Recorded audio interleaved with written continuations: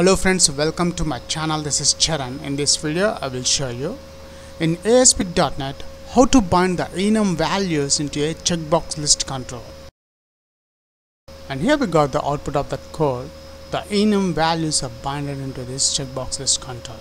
If you are a first time visitor to my channel, please subscribe to get the latest updates.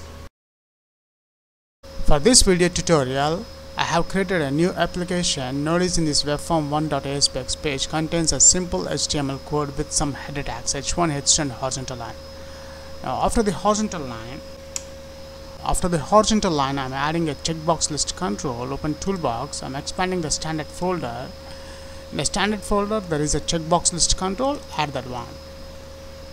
Once I add the checkbox list control, after adding the checkbox list control, now go to view code, right click the mouse, view code. In the code behind, I'm creating a enum, public enum. I'm adding cars is the enum name, Honda 1, BMW 2, Benz 3, Bugatti 4 and hold on. Is 5 just for the demo purpose I have added some values in this enum. Now let's bind this enum in the page load.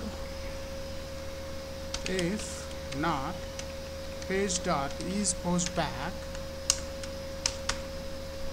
Array. I'm creating object of the array list is equals to enum dot get values the enum the get values method takes the enum type. So type of in this type of method I am adding the enum name which is cars semicolon. After that after that I'm adding for each loop to bind the cars enum values for each variable sorry not variable cars with the enum name get cars in array list. After that now let's bind the enum values into the checkbox list control the checkbox list id which is a checkbox list 1 dot items dot add new list item. And this li in this list item I am adding get cars dot to string method comma.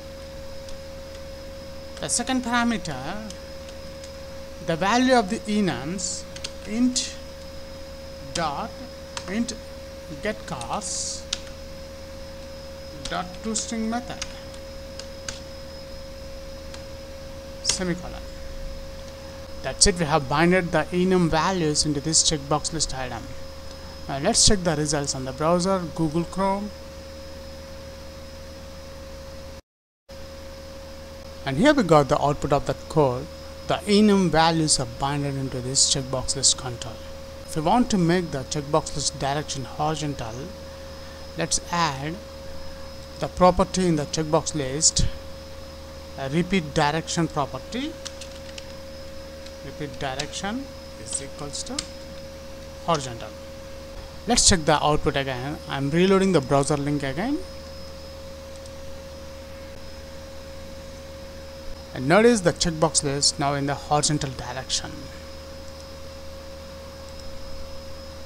that's it